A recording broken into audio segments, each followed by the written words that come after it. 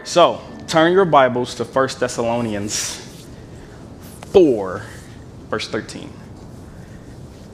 So uh, Sunday, Pastor Kevin, he said, hey, we're in Ezekiel, and Davaughn, I would just love it if you would talk about something that has to do with prophecy or something that goes along the same kind of lines, the same kind of feel as, as, as what we're doing on Wednesday. So I love talking about the rapture in the day of the Lord, right? I love it. I get, I mean, I got goosebumps right now talking about it. And so I said, you know, it's a Wednesday. Sometimes the middle of the week is tough, right? And you just, you can just barely get here. So why not have a little fun? Let's talk about the rapture. Let's talk about the day of the Lord. I promise you won't agree with everything. That's kind of the point. I love it, right? If you don't agree, I don't want to talk to you about it afterwards. I want you to go read your Bible and figure it out. You don't have to trust me, but I want to make you think today, okay? Um, I want to encourage you.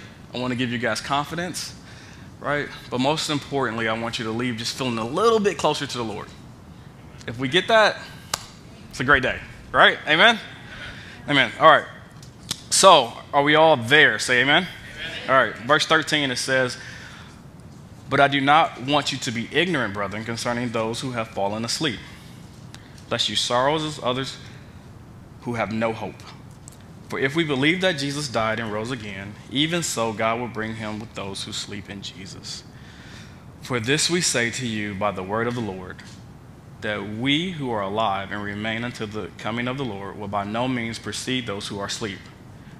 For the Lord himself will descend from heaven with a shout, and with the voice of an archangel, and with the trumpet of God. And the dead in Christ will rise first. Then we who are alive and remain shall be caught up together with them in the clouds to meet the Lord in the air, and thus we shall always be with the Lord. Therefore, comfort one another with these words. So we'll start there. All right? So, uh, verse 13, it says, But I do not want you to be ignorant. And uh, ignorant means lacking knowledge or awareness in general, uneducated or unsophisticated. At least that's what Google says it means.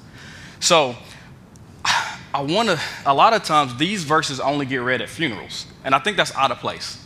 And I got to thinking about my own life, and I said, well, you know, when did I first like visit Thessalonians, this section? And I started to think about um, my grandfather. Who in here has seen The Lion King?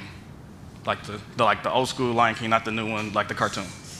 So there's a scene in there where, where, where uh, Simba, right? He's like, we're best friends, Dad right? We'll always be together. And me and my grandfather would have moments like that. And in those moments, he would take that time and he says, I'm like 50 years older than you, buddy. We're friends, but we won't always be together. And we would talk about the circumstances of the rapture if he died, what to look forward to, to the point where I was so excited when my grandfather passed I may have shared like one or two tears. It was all excitement. He used to tell me, say, buddy, if I go before you, understand it's a good thing. And we'll meet together at the marriage supper of the Lamb. And if Jesus, if Jesus lets me, I'll fix your plate. I want everybody to have that hope because we're different. Right? I remember sitting in this funeral and people said, Well, you guys were close, how you holding up? And I said, Man, I'm fantastic. I can barely stand it. I didn't mean to get up here and get emotional on you, but that's the point. We should not sorrow like those who have no hope. Right? When my grandfather passed, it was it was awesome. Right? I was like, Papa, you made it. I can't wait to see you.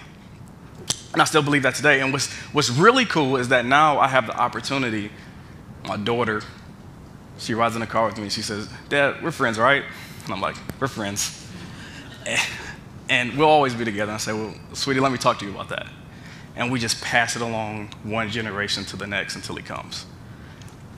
And that's comfort. So, verse 14, got to get off of that. Four. I love this verse too. I mean, every, I mean, this thing is just full of nuggets. It says, For if we believe that Jesus died and rose again, even so God will bring with him those who sleep in Jesus. So I think there's there's a couple of points here. The one point that I think is really important that might get overlooked, you have a little bit of an if then statement there, right? I don't know if you pick it up. It says, if we believe that Jesus died and rose again, even so, God will, right? And so that first part, right, Jesus died and rose again, we call that the gospel, right? If somebody said, Do you believe in the gospel? you would automatically say yes. And they said, Well, what did Jesus do for you? And then you would be a very poor Christian if you did not say, He died and rose again for me, right? I would challenge you to add the rest of the statement, right? He says, If, even so, right? So when people ask me what Jesus did for me, I said, Yes, He died and He rose again.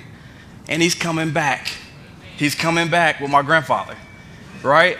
And I, I, I 100% believe that, but as Christians, we only talk about, I mean, it's kind of, we only give him like half the story. It's a great opportunity for questions. Well, what do you mean he's coming back? Who told you that? Where do you find that? Right? But we miss a step because we've been programmed. We've not read our Bibles. So God will bring them back. So even so, how comforted, comforting is it to know that our loved ones are with him, right? I mean, this, is, this has been the year, or I guess several years of madness, right? And people have lost, in general, folks that are close to them.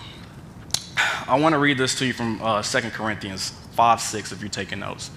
It says, So we are also confident, knowing that while we are at home in the body, we are absent from the Lord.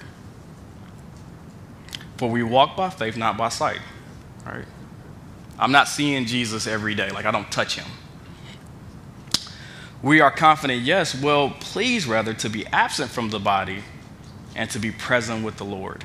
And we hear that all the time too, right? Again, at, at, at, funerals, you hear it absent from the body, present for the Lord. But I want you to understand the type of confidence that Paul is having. He's saying, just as you can physically see yourself in this body, in this world, and you don't see Christ, you can have that same confidence as if you could see it, that when you leave, you will be with the Lord. And that, that what, what that should do is that should bring your confidence level up a notch, right? Because there's, there's no, I, I don't lose ever, right? I cannot lose because it's not about me, right? It's about Christ and my security in Him. And, he, and he's saying, look, just as I can see Chris, Terry, I, I can see you. I know that my loved ones are taken care of. And, and, and that does another thing that gets overlooked. It talks about his character, right? God's character is strong enough that he's going to take care of each and every one of us. He won't let none of us go at all for a moment.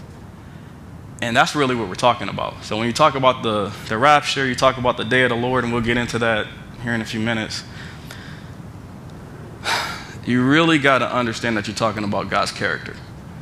And for me, when I read the Bible, just in general, this is not in my notes or anything like that, but when I read the Bible, if something's gray, I try to take it literal, right? But if there's two literal things and I really don't know, I usually choose the one that glorifies God the most. Like whichever one makes him sound like the best. Sometimes I could be wrong, I get it, right? But I'm going to choose on the era thinking that my God is dominant and loving and holy, right? And if I'm wrong, he can tell me when I get up there, right? But I'm probably right. Just letting you know. So, anyway, verse 15. And I say that not to be cocky, by the way. I say that because he is those things. That's why. That's why. That's why. That's why I put my money on those bets because the odds are. In, I have an unfair advantage. God is holy. So if I assume he's holy, I'm likely to be right almost every time. Right? When I'm wrong is usually I, I did not understand the question or the text says something in the body of work that I got some context, and all that does is make him more holy because it's awesome. I just get to search more and more and more. So just to clear that up. So verse 15 it says, For we say to you by the word of the Lord that we who are alive and remain until the coming of the Lord will by no means precede those who are asleep.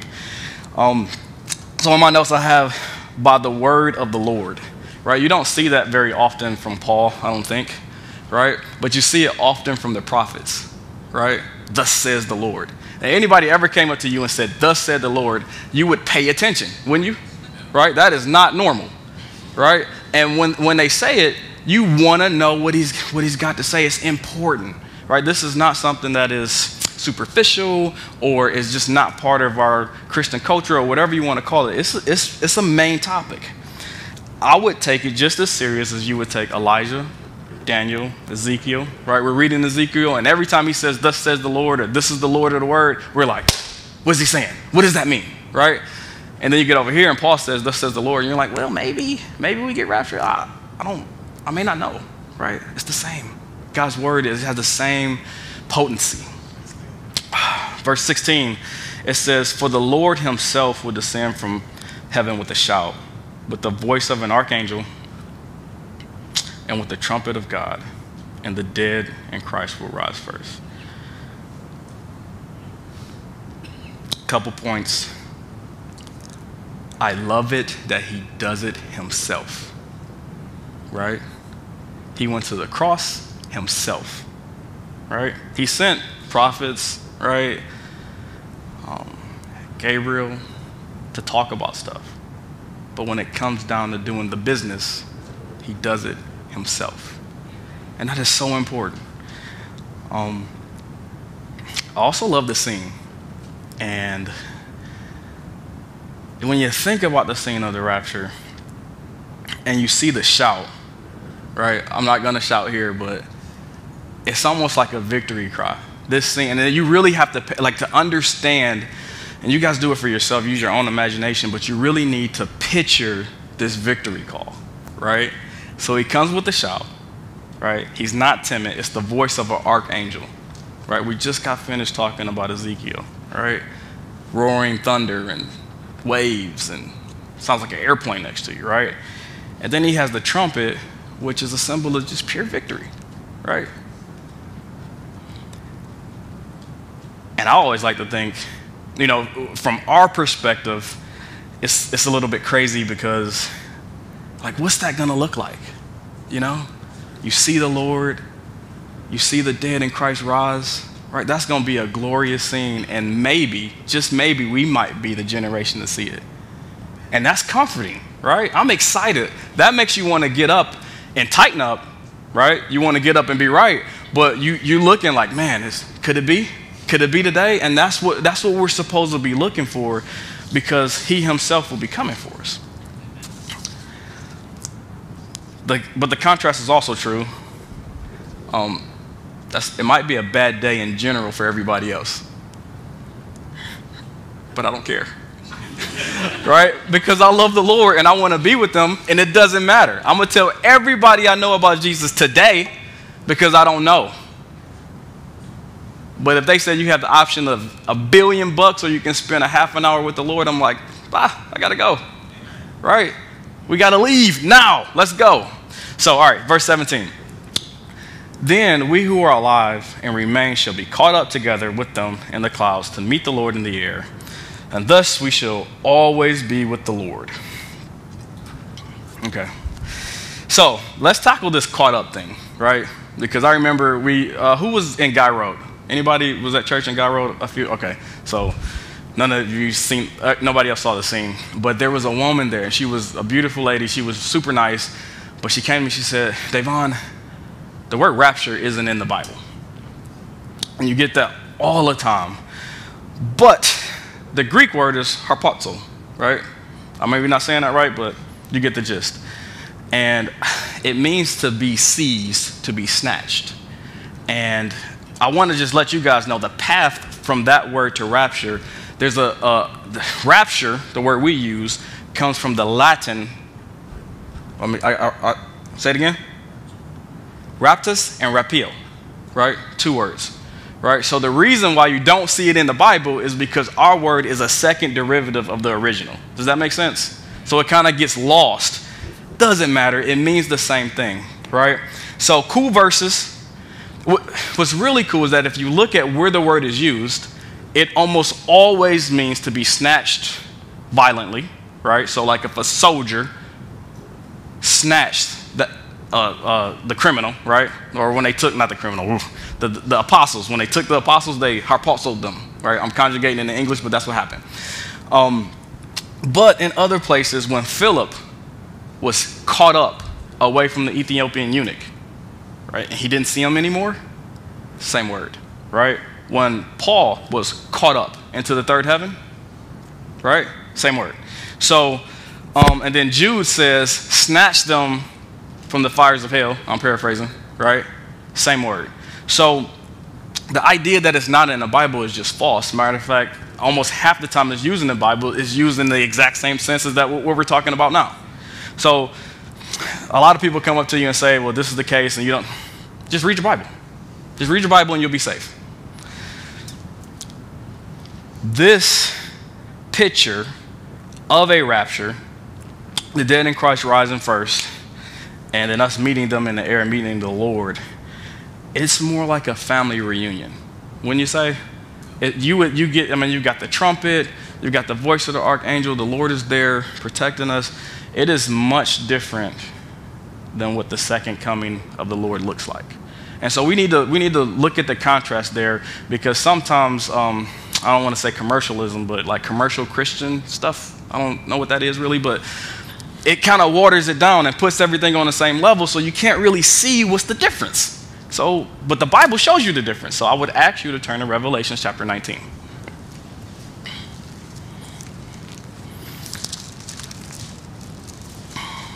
Let's see if I can't get there.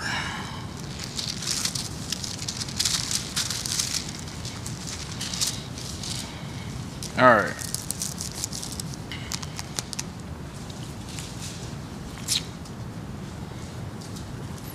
Everybody there, man? All right, so verse 11 it says, Now I saw heaven open, and behold, a white horse. So it's different stuff. And he who sat on the horse was called faithful and true. And righteousness he judges and makes war. I want you to, I'm pausing so you can understand the contrast. His eyes were like a flame of fire, and on his head were many crowns. He had a name written that no one ex- knew except himself. We're going to pause there because this is just a free point, right? This is Jesus coming back, and he has a name that nobody knows, right? They can't comprehend his name because he's that awesome, right? But we, so like the Old Testament saints, they didn't, they had like Yahweh, but they like they would say the Lord, right? We get to call him Jesus, right? Gabriel says, call his name Jesus. So we assume like, all right, Jesus, Jesus is saying like God is my savior, right? It's the equivalent of calling him daddy. You understand that? So when we see this name, it's like, why does Jesus have a different name? Was because you call him dad when you say Jesus. That's why at the name of Jesus, every man will be saved, right? That's why there's salvation there because it's intimate, right? But he's coming back now and it's not so intimate for the people he's coming for. It's not the same. Sorry, oh, sorry, excuse me. Verse 13. He was clothed with a robe dipped in blood, and his name is called the Word of God. And the armies in heaven, clothed in fine linen, white, clean, followed him on white horses. This is Pastor Kevin's favorite part, right? This is the part where you, the scene where, like, we got theme music and all of that jazz going on. He always talks about. So, in verse 14 it says, or verse 15, now out of his mouth goes a sharp sword, that with it he should strike the nations. And he himself, again, will rule with the iron rod. He himself treads the winepress of the furnace and the wrath of Almighty God. Okay? So that's a slightly different picture. Would, would you guys agree? Yes. It's humbling, right? That's, that's imposing. That is, not, that is not a party in the sky. That is not what that is, right? That's something completely different. So don't merge the two as if they were the same that would just be that would just be bad teaching, in my opinion. Okay, so in summary, Thessalonians, we go up. In Revelations, we come back down. Right? Those his armies and the saints in fine linen, that's us. My fantasy, right, like the thing that I think about is that we all have, um, for lack of a better word, demons that mistreat us, like in our life, right? And this is like my childhood thing, so like it may not make a whole lot of sense. But I just want you to get it. So like, like I have issues, like everybody else have issues. I am a sinner, right? The Lord has saved me in spite of me, right? And so I know that there is probably not Satan himself, but maybe some minions that follow me around and make me have a bad day. I believe on this day, right, with our theme music, just like Pastor Kevin says, we're gonna come back, and me and Chris have talked about this more than we should have. I believe when we come back, I will be my full grown, real life self, the way God intended me to. And he's going to come back, and as he's speaking to the nations, he's going to say, Davaughn, that demon that made you do whatever that day, he's right over there. And I'm going to be able to see him, he's going to see me, and we're going to be able to have a one on one in my real life spiritual body, and I'm going to mop the floor with him over and over again. That is like, I cannot wait to this day. I look forward to it so much, it's ridiculous, right? And I, what's cool is that you guys are going to be there with me. So, like, when we want a tag team, I'm going to just look at you and say, You ready? Right? And we'll be able to just enjoy ourselves in the Lord because we'll be invincible, and He, uh, he is who He is. And we're His kids. It's going to be awesome. All right. I lost my place. Hold on. Also, we are there. No, so, oh, look back at. I hope you kept your, your finger in Thessalonians. It says, and thus we shall always be with the Lord. All right, that's the end of that, that verse. So you got to think, don't get caught in the day of the Lord. Rapture, we will always be with the Lord. Stay in Revelations. Stay in Revelations, okay? So this is just a fun thing that I like to do when I'm looking through Revelations to make sure that I don't even know. It's just it's just cool to look at. So I want you to turn to Revelation. I'm sorry if I say Revelations. It's just a bad habit. I know. Turn to chapter uh, three. Right, because it says we will be with Jesus all the time. Right, we will always be with Jesus. So I would ask you from Revelations chapter 1 to Revel- like the beginning of Revelations chapter 4, do you see all the red? Like we was talking to the church, if you got red in your Bible, right? Then, verse 4, verse 1, it says, After these things, and behold, a door standing open in heaven, and the first voice which I heard was like a trumpet speaking with me, saying, Come up here, and I will show you the things which must take place after this, right? And so as you work your way back to Revelation chapter 19, just turn your pages. Notice the lack of red, and I would ask you, where is Jesus during this time? He's not on earth. He's in heaven. Right? He shows back up in Revelations chapter 19, verse 11. Right? Where he is reestablishing his kingdom and taking care of sin. So if you just, you don't even have to read your Bible. You could almost just look at the colors of the words and understand that God's going to take care of us. Right? All right. Verse 18. Therefore, and I guess this is verse 18 answers the reason why, why, why I do that right? I look at that in Revelations to understand that after he says, Come up, I am with him. And though there's bombs going off down here, and you guys went through our Revelation study, understand that is mayhem. I am sitting comfortable in the court of the Lord until I return with him and get to find my demons. And, and, and, and, and, and, I, I am comforted by that. All right, so Let's look into, let's, let's, we got time. Let's go into chapter 5. But concerning the times and seasons, brethren, you have no need that I should write to you. Okay? So, one thing I just, again, just to drive the point home, I want you to realize that he's changing the subject. Right? We were talking about one thing, but now he wants to talk about specifically the times and the seasons.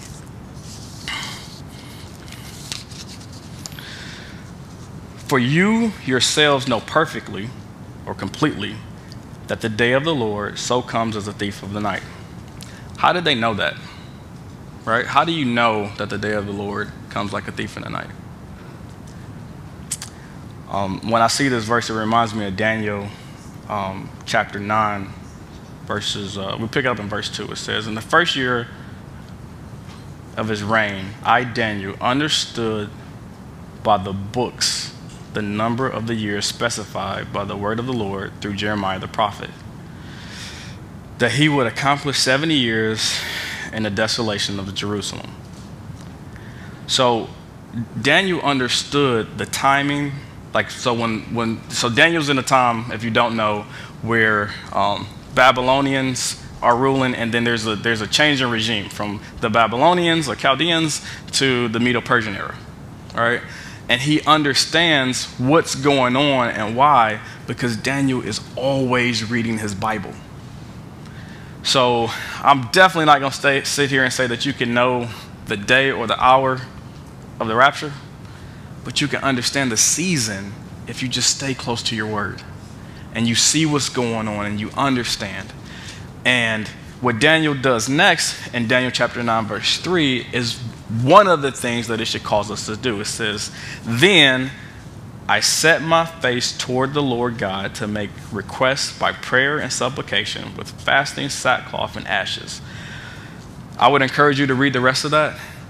But understanding the word and understanding where we are and our place in history should cause you to pray, to fast, but then to pray for others, right? To, to, to seek our family members out and really, really want to be about the Lord's business because we don't have a lot of time. Uh, 1 John 3 2 says, Beloved, now we are children of God, and it has not yet been, been revealed what we shall be. But we know that when he is revealed, we shall be like him, for we shall see him as he is. And this is the verse, I'm, this is what I'm really trying to get to. And everyone who has this hope in him purifies himself. Right? Just a couple of weeks ago, I was, this is before I even knew we were, we were going to be talking today. I was doing like this end time study. And man, it made me like go upstairs and like clean up the bathroom. I just wanted to do everything right. You know, I was like talking better, looking better, sharper, cut my hair, you know, just whatever I had to do because I said, I really, if the Lord comes, right, I want to be ready. And I'm, I'm joking, but I, you, you understand what I mean? And we need to live with that all the time. We hear it all the time, and that's the problem. Like, you got somebody like me telling you since you were like four that this is gonna happen, so you really don't believe it's gonna happen. Well, I'm telling you again, listen, you, you need to act like it could happen in the next five years. If I told you, say I, I was like the bad guy and I said, hey, I'm dating it, it's five years out, bam, and you believe me, right? Would your life change? Who would you tell? Who would you go to to say, hey, man, we've got like five years left? Well, the Bible, we need to do that anyway. Like have that same sense of urgency so that we could we can pull these guys out of the fire. Right? All right, um, where are we at? Verse 3. But when they say peace and safety, then sudden destruction comes upon them as labor pains upon a pregnant woman, and they shall not escape. All right, so I got three things to talk about peace, safe, and then this, this escape here. So, peace and safety, those are great words. Um, we use them all the time, and nobody knows, like we know today, that those words can be abused 100%. So um, let's talk about peace. Who doesn't want it, right? And think about these things. I wrote these things down, so I, I got to make sure. Look at your household. What do we do to make sure we have peace in our household? What do we allow in our home just to make sure that our home is peaceful, right?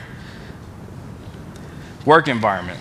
What do you overlook at work not to ruffle any feathers? Right? What comments are made about your Lord or about what we truly believe are made that we just kind of say, well, in, in, in the interest of peace, I'm going to just, I'll just chill out. Look at the church. What do we put up with? Right? For unity, right? And peace. What don't we call out? Um, what did Jesus say? And uh, I think nothing's better than Matthew 10 34. It says, Do not think that I came to bring peace on earth. I did not come to bring peace, but the sword. Uh, I have here, in my own emphasis here is saying that when he says the sword, he's not saying actual violence, he is saying the word of God.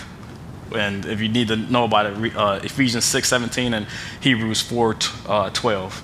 For I've come to set a man against his father, a daughter against her mother, a daughter in law against her mother in law. And a man's enemies will be those in his own home. Right? So the word of God, that message, even to us, still will bring conflict.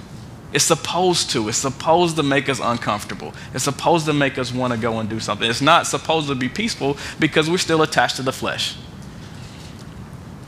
Now, my favorite here is Isaiah 9 6. So this is the Christmas year. For unto us a child is born, unto us a son is given, and the government will be upon his shoulders, and his name will be called Wonderful Counselor, Mighty God, Everlasting Father. And if you haven't looked at these, please go back and look at it. But we're going to land today on Prince of Peace. Now, um, this, I love this. I love it when I realize what this was, right? So this Prince of Peace, this is not like your, um, like Snow White, uh, Sleeping Beauty, Prince, right? Like we, that's the idea because that's what, you know, that's, that's what we, or even, um, what's his name, Harry? Is that the Prince, like of England? Yeah, yeah, okay, all right, yeah, yeah, that guy. So it's not like that, not at all, right? So if you look at what this word means, it means captain, chief, general, governor, keeper, or the Lord. Um, slow down here, but it's the guy in charge of something, right? So if you look at like the Babylonians, if they wanted to do something, they would send their princes, right? He's not saying that he would send necessarily his sons, even though because they had so many wives, it could have been his sons. But in general, he's saying, I'm sending the guy in charge of this. And what I love about this, um, and then you have it, let me, I don't want to get ahead of myself. You have it also in like uh, the spiritual realm, right? So when, so when Daniel is talking, he's saying, the prince of Greece, the prince of Persia. So those are, or, or uh, Michael, your prince, right? So these are the guys in charge of either territories or whatever. The point is, peace is so difficult. God Himself is saying, I'm gonna be in charge in that one. That's, is that's gonna be my job, right? And I love that. Have you ever worked with somebody who was like excellent but had other people working for them? And it's always cool when that guy says, you know what, this is so important, I don't need any help, I'm gonna take care of it myself. Right? And I, I love that about Jesus. Um, I always think of it as um, like, here I've, I've, got some bad examples. Let's try one though. Um, Jordan, right? That last shot. You think anybody else is taking that shot? Right? He's the best player in the game. He sent it's so important, I'm going to do it myself. Um, if you watch the Super Bowl, which, right, the Rams, they needed a drive. Who they throw the ball to? Cooper Kupp, right? Because he's the best, right? And then um, if you don't watch sports, uh, I like to think of it when, when handling a child, right? Uh, I look at my, my wife, when my daughters fall and the level of magnitude is higher than what they think daddy can stand, right? She swoops in and she says, Don't worry about it. I'll do it myself. And I just love it that Jesus does it himself because he is peace. Right? He is peace. He's literally, peace comes from him. And that's why Galatians says the fruit of the Spirit is love, joy, and what? Peace. So, no Christ, no peace. You just can't do it. Right? So, but beware, the enemy and I, this concept, it, like everything with the Bible, you got to watch for this, right? So you need to be like on guard, ready, because it's, it's always happening. The enemy always wants to trade that godly thing for something else that looks almost the same, right? So he wants to trade peace for things like apathy, right? Indifference, or just regular laziness or slothfulness, right? I'm being peaceful. I will do nothing, right? That's not it. Okay, safety. Uh, I just, so uh, 2 Corinthians 11, 24 and 25, it says, and I had to just cut this down because for the sake of time, we're running out of time. For the Jews, from the Jews, this is Paul, Paul talking, five times I have received 40 stripes minus one. Three times I've been beaten with rods. Once I was stoned. Three times I was shipwrecked. At night and day I've been in, in the deep. And there's like much, much more if you want to read that section and, and, and know about it. But I, we're not called to be safe. There's nothing in the Bible that you see that says that we're supposed to, like, we're actually supposed to live on the edge. I don't know what that is for you, but you need to find it and push it, right? Because Proverbs 18:10 says, "The Lord is our is a strong tower; the righteous run to it and are saved." Right? So we don't live our life to be safe. We run to the Lord as we're doing whatever He's called us to do, and He is our safety. It's a huge difference because right now they'll say, "Well." You'll do it because we make everybody safe and we'll never go outside again, right? You'll never do anything again. You will stay at home and be safe and peaceful and not do nothing for the Lord. And that is not what we're called to do. Read your Bible. So, all right, so beware. The enemy would like to trade safety for the same things. But instead, he wants to trade. It's like safety is a little bit different. It's a little bit different. It's not really a trade. It's like, hey, I want you to be safe because of this thing to be fearful of, or because of this decision that will cause more conflict, or because of, I just want you to procrastinate and not do anything. Because if you don't do anything, nothing can happen. Right? And that's not what we're called to do. All right. Uh, oh, here we go. Escape. All right, this is the, the third thing. It says, and they shall not escape. So, escape what? Well, Isaiah says this it says, Well, for the day of the Lord is at hand, it will come as a destruction from the Almighty. Joel says this Alas, for the day, for the day of the Lord is at hand, it shall come as destruction from the Almighty. Amos says, Woe to you who desire the day of the Lord. For what good is the day of the Lord to you? It will be darkness. Right? So, and that's just randomly. All I did was literally do a, a, Bible search for the day of the Lord, and you get that same feel. The Old Testament prophets understood that this is not something that you. You guys ever seen a real fight? Right? If you've seen a real fight, like when you're kids, like everybody goes to the fight. But when you see like grown men fight, people go away. And I want you to understand that the day of the Lord, if you're not in Christ, if you're not in white linen behind Him, you're going to want to crawl under something and pray. So it'll be too late. All right. But I smile because it says, and they will not escape. We are not they. There's a difference between the two of us, and the difference is Christ. So it says it will be darkness. Now we're going to take um, we're going to take verses uh, 5 through 7 here and just because for the sake of time, I'm going to read them, but we're not going to cover them because I, I want to get, to verse 8. All right. But you, brethren, are, in, are not in darkness, so that this day shall not overtake you as a thief. You are sons of the light and sons of the day. We are not of the night, nor of darkness. Therefore, let us not sleep as others do. Let us not watch and be but let us watch and be sober. For those who sleep, sleep at night, and those who get drunk are drunk at night. Now, we want to be in verse 8. It says, But let us who are of the day be sober, putting on the breastplate of faith and love, and as a helmet, the hope of salvation. So, sober, I got, I'm going to just read the notes it's a spoiler alert, it doesn't get better, right? The, the world gets better when Christ comes back. And so we have, as we see that day approaching, we have to be sober minded, understanding that we have the breastplate.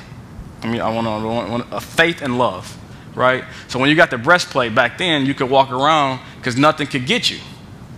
So even though we see it getting worse, we have to have that breastplate on, understanding that, you know, I mean, World War III could happen tonight, literally, right now. Right? But we're okay because we have the breastplate of righteousness. Right? And then this, this last part gets confused so much, that we have to talk about, and as a helmet, the hope of salvation. People get this confused as if I hope I am saved. That is not what this is saying. Okay? So it's not like you had a bad day and now you're like, I hope I'm saved. I hope I get raptured. Right? Maybe he leave me like you watch Left Behind or something. You think you might be still left left. That's not this. That's not what this is. This hope of salvation is like we are hoping to see. That word salvation is rescue, right? So we are hoping. You should be hoping to be the generation that sees the rescue. That's all this is saying. We are to live like that in order not to go crazy. That's why it's the helmet right? Because if you didn't have the hope of being rescued for the Lord, if you didn't have a bad day and say, Lord, I'm going to keep it together because you might come back today, right? If you couldn't say that, what could you say? What would you be looking forward to? Okay. Verse 9 it says, For God did not appoint us to wrath, but to obtain salvation through our Lord Jesus. So, He did not appoint us to wrath, right? So that's Revelations 4 through 20. That's not for us. This is literally the gospel that Christ paid the price for us, so that he took our wrath so that we would not have to take it. Does that make sense? All right, so uh, Romans 3:25 it says whom God speaking of Jesus set forth as a propitiation by his blood through faith to demonstrate his righteousness because in his forbearance God had passed over the sins which were previously committed to demonstrate at the present time his righteousness, that he might be just and justifier of the one who has faith in Jesus. And I read you that to say, I can honestly stand up here and tell you guys, at the point where God begins to pour out his wrath on the earth, it is not biblical for us to be here. Because the price has already been paid for our sins at the cross. And no matter how bad it gets or what you do, you can always stand on that because his integrity, his credit is always good, even when ours suck. All right. Verse 10 it says, Christ, who died for us, that whether we wake or sleep, we should live together with him. Jesus' ministry was one of reconciliation so that we could be with him. And he literally died, God died for you to not experience wrath, but also to be with him. Romans 5:10 says, "For if when we were enemies, right? So when we were enemies to God, we were reconciled to God through the death of his son. He killed his son or allowed his son to die when we were enemies. Much more, having been reconciled, we shall be saved by his life.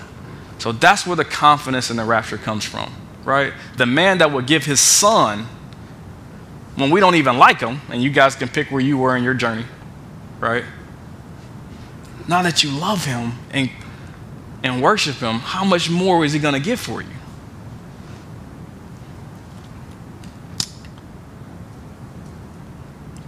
The last verse it says, Therefore, comfort each other and edify one another, build each other up, just as you also are doing. This comfort is twice, is in there twice. It's not redundancy. He's saying, one, comfort each other that he is coming back for us. And praise the Lord that we do not have to experience his wrath. Right? So, last verse I'm gonna read, and then we're gonna we're gonna pray and go. Is